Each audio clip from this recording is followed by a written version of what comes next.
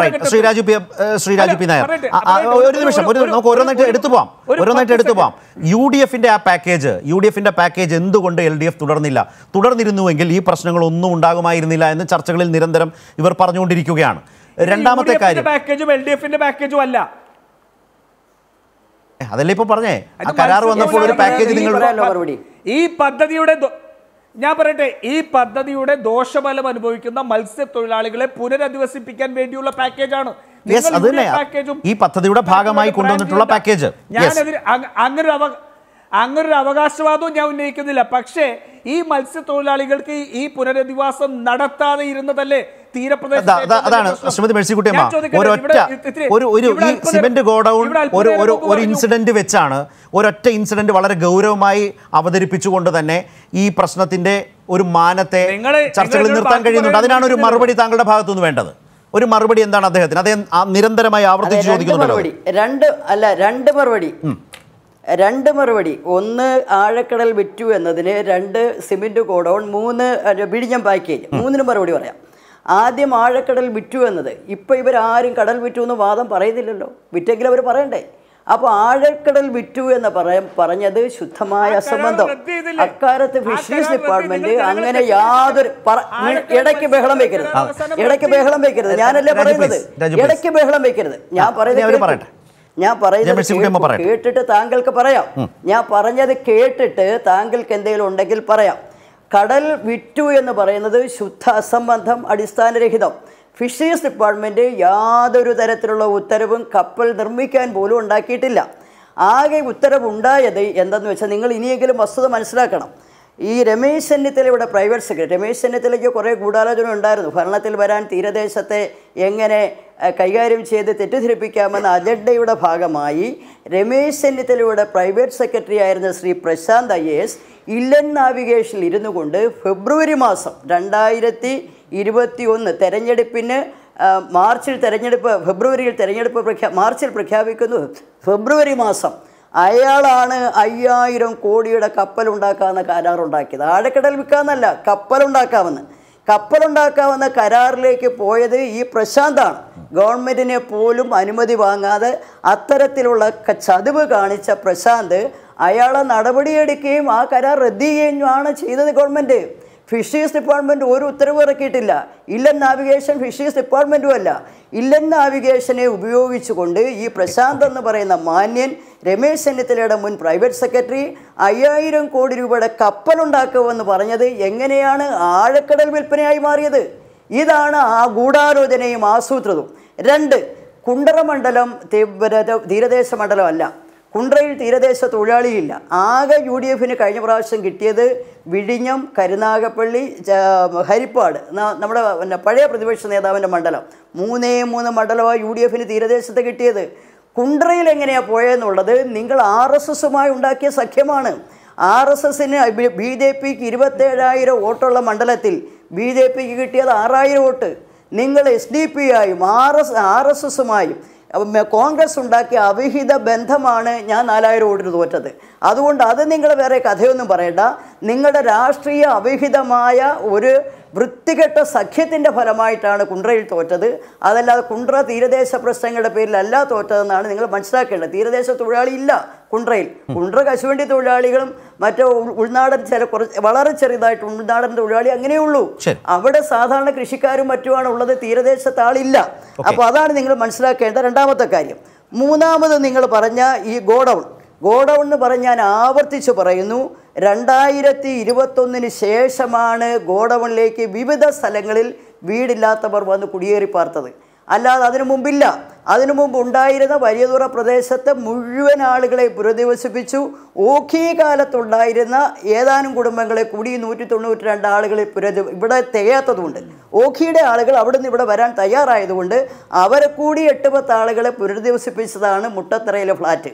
അതുകൊണ്ട് അതിന് ശേഷം വന്നതാണ് ഈ വർഷങ്ങൾ സിബിൻഡു ഗോഡൗൺ എന്ന് പറയുന്നത് തട്ടിപ്പാണ് അടിസ്ഥാനരഹിതം. മൂന്ന് വിഴിഞ്ഞം പാക്കേജ് വിഴിഞ്ഞം പാക്കേജിന്റെ കാര്യത്തിൽ എനിക്ക് പറയാനുള്ളത് നാനൂറ്റി എഴുപത്തഞ്ച് കോടി രൂപ ഉമ്മൻചാണ്ടി പതിനൊന്ന് പതിനൊന്ന് രണ്ടായിരത്തി പതിനഞ്ചിലാണ് വിഴിഞ്ഞം പാക്കേജ് എന്ന് പറഞ്ഞ് നാനൂറ്റി എഴുപത്തഞ്ച് കോടി പറയുന്നത്. ഒരു ചില്ല് കാശ് ബഡ്ജറ്റിൽ വെച്ചില്ല. പറഞ്ഞ ആറ് കാര്യങ്ങളാണെന്ന്. ഒന്ന് ആവശ്യമെങ്കിൽ തൊഴിലാളികൾക്ക് പുനരധിവാസം. പുനരധിവാസം വരുന്നെങ്കിൽ ഇന്നും വിഴിഞ്ഞം പോർട്ടിന്റെ ഭാഗമായി ഒരാളെ മാറ്റി പാർപ്പിച്ചിട്ടില്ല എന്ന് ഓർത്തോണം. അവിടെ ആവശ്യമെങ്കിൽ അൻപത് ഏക്കർ സ്ഥലം വാങ്ങി പുനരധിവാസം. ഒന്നതാണ്. രണ്ട് മത്സ്യത്തൊഴിലാളികൾക്ക് പരിശീലനം. മൂന്ന് ജീവനോപാധി പദ്ധതി. നാല് വനിതാ ശാക്തീകരണം. അഞ്ച് വിദ്യാഭ്യാസം. വയോജനക്ഷേമം. ഇങ്ങനെ ആറ് കാര്യമാണ് വിഴിഞ്ഞം പാക്കേജിൽ പറഞ്ഞത്. നാനൂറ്റി എഴുപത്തഞ്ച് കോടി എന്ന് പറഞ്ഞു ഒരു കോടി പോലും വെച്ചില്ല. അതിൽ തൊഴിലുമായി ബന്ധപ്പെട്ട കാര്യങ്ങളിൽ ഇന്ന് വിഴിഞ്ഞത്തും തിരുവനന്തപുരത്ത് മത്സ്യസമ്പത്ത് വർദ്ധിച്ചിട്ടുള്ളത് ആയിരത്തി അറുന്നൂറ്റി അറുപത്തഞ്ചും ആയിരത്തി നാനൂറും കൃത്രിമ പാര് ഈ പാക്കേജിന്റെ ഭാഗ കേരളത്തിലെ പിണറായി ഗവൺമെന്റാണ് പണം വെച്ചത്. ഉമ്മൻചാണ്ടി ഗവൺമെന്റ് അല്ല പണം വെച്ചിട്ട് ഈ തരത്തിൽ ആയിരത്തി നാനൂറും ആയിരത്തി അറുന്നൂറ്റി അറുപത്തഞ്ച് കൃത്രിമ പാരികൾ അവിടെ സ്ഥാപിച്ചതിന്റെ ഭാഗമായി മത്സ്യസമ്പത്ത് ധാരാളമായി വർദ്ധിച്ചു. ചിപ്പി തൊഴിലാളികൾ ഇരുന്നൂറ്റി അറുപത്തിരണ്ട് പേരെന്നാണ്. ഇരുന്നൂറ്റി അറുപത്തിരണ്ട് പേരുണ്ടോ എന്നൊക്കെ കണക്ക് നോക്കണം. പക്ഷെ അപേക്ഷ കിട്ടിയത് ഇരുന്നൂറ്റി അറുപത്തിരണ്ടാണ് അവരുടെ നഷ്ടപരിഹാരം പന്ത്രണ്ട് പോയിന്റ് മൂന്ന് ഒമ്പത് കോടി.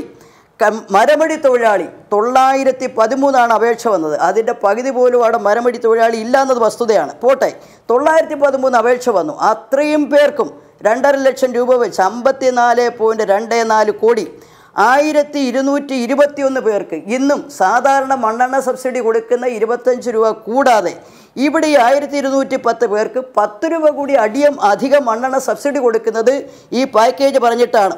റിസോർട്ടിൽ നിന്ന് റിസോർട്ട് അവിടെ ഉണ്ടായിരുന്നത് ചിലത് മാറുമെന്ന പേരിൽ ഇരുന്നൂറ്റി പതിനൊന്ന് തൊഴിലാളികൾക്ക് ആറ് പോയിന്റ് സീറോ ടു കോടി കുടിവെള്ള പാക്കേജ് കൊടുക്കാൻ അവിടെ ശുദ്ധീകരണ പ്ലാന്റ് സ്ഥാപിച്ച് ഏഴ് ദശാംശം മൂന്ന് കോടി ആയിരം വീടിന് ഹൗസ് കണക്ഷൻ കൊടുത്തത്.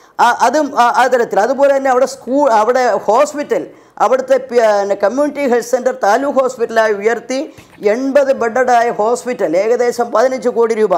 അതുപോലെ അവിടെ ഇനിയുള്ള ചെറുപ്പക്കാർക്ക് വിഴിഞ്ഞം പ്രദേശത്തുള്ള ചെറുപ്പക്കാർക്ക് പോർട്ട് വന്നാൽ പോർട്ടിൽ തൊഴിലെടുക്കാൻ കഴിയുന്ന തരത്തിൽ അവരെ നൈപുണ്യ വികസനത്തിലേക്ക് കൊണ്ടുപോകാൻ അസാപ്പിന്റെ അസാപ്പിന്റെ പേരിൽ അവിടെ ഒരു ട്രെയിനിങ് സെന്റർ ഇപ്പോൾ നിർമ്മിക്കുകയാണ്. അതൊന്നും പാക്കേജിലില്ലെങ്കിലും ഞങ്ങൾ ദീർഘവീക്ഷണത്തോടു കൂടി അത് ചെയ്യുകയാണ് സ്ത്രീകൾക്ക് അവരെ ശാക്തീകരിക്കുന്നതിന് വേണ്ടി പലിശരഹിത വായ്പ ഇപ്പോൾ അവർക്കൊരു പിന്നെ പ്രോസസ്സിംഗ് സെന്റർ തുടങ്ങാൻ ബൈ പ്രോഡക്റ്റുകൾ ചെയ്യാൻ വേണ്ടി ഒരു പ്രീ പ്രോസസ്സിംഗ് സെന്റർ നാല് കോടി രൂപ ചെലവഴിച്ച് അവിടെ പണി പൂർത്തീകരിച്ചു. ഇങ്ങനെ ഈ വിഴിഞ്ഞം പാക്കേജ് എവിടെ വിഴിഞ്ഞം പാക്കേജ് എവിടെ എന്ന് ചോദിക്കുമ്പോൾ വളരെ കൃത്യമായി ഇത് ചെയ്യുകയും രണ്ടായിരം കോടി രൂപയുടെ ഭവന നിർമ്മാണ പുനർഗേഹം പദ്ധതി ആവിഷ്കരിക്കുകയും ചെയ്തു. നിങ്ങൾ അമ്പത് ഏക്കറേ പറഞ്ഞിട്ടുള്ളൂ. ഞങ്ങൾ രണ്ടായിരം കോടിയുടെ പതിനെണ്ണായിരത്തിലേറെ പേരെ. ഈ തിരുവനന്തപുരം ജില്ലയിൽ മാത്രമുള്ളവരല്ല കേരളത്തിലാകെയുള്ള മത്സ്യത്തൊഴിലാളികളെ പുനരധിവസിപ്പിക്കാനുള്ള ദീർഘവീക്ഷണത്തോടു കൂടിയുള്ള ബൃഹത്തായ പദ്ധതിയാണ് കേരള ഗവൺമെന്റ് തയ്യാറാക്കിയത്.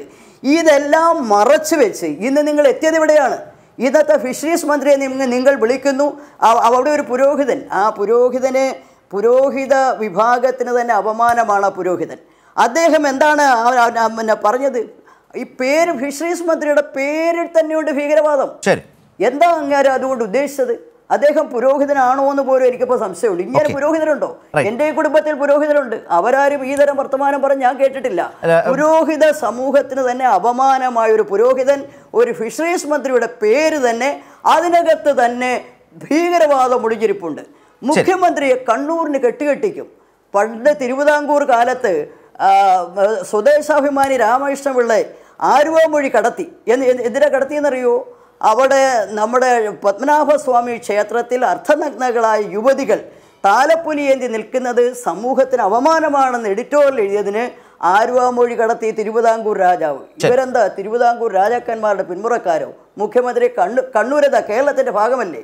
വേറൊരു പുരോഹിതൻ പറയുന്നു അതേ പുരോഹിതൻ തന്നെ പറയുന്നു പോലീസ് സ്റ്റേഷൻ ഞങ്ങൾ കത്തിക്കും. ഇന്ന് വേറൊരു പുരോഹിതൻ പറയുന്നു സ്ത്രീകളെ നിങ്ങൾ വന്നുകൊള്ളൂ. അവിടെ രണ്ട് മന്ത്രിമാർ വരുന്നുണ്ട്. അവരെ തടയണം. ഇതിന്റെ എല്ലാം പിന്നിലുള്ള ലക്ഷ്യം എന്താ? മത്സ്യത്തൊഴിലാളി താല്പര്യമാണോ. മത്സ്യത്തൊഴിലാളി താല്പര്യമല്ല. അതിന്റെ പിന്നിലുള്ള ലക്ഷ്യം രാഷ്ട്രീയമാണ്. കലാപമുണ്ടാക്കലാണ്. ജനപക്ഷ ഗവൺമെന്റിനെ മത്സ്യത്തൊഴിലാളികളെ അവരെ അന്തസ്സോടുകൂടി കൈപിടിച്ചുയർത്തിയ കേരളത്തിന്റെ സൈനികർ എന്ന് നാമകരണം ചെയ്ത് അഭിമാനത്തോടു കൂടി ജീവിക്കാൻ അവരെ കൈപിടിച്ചുയർത്തിയ ഗവൺമെന്റിനെ തകർക്കാനുള്ള ഗൂഢമായ ലക്ഷ്യം ഞാൻ ശ്രീമതി മേഴ്സിക്കുട്ടിയമ്മയിലേക്ക് മടങ്ങി വരാം.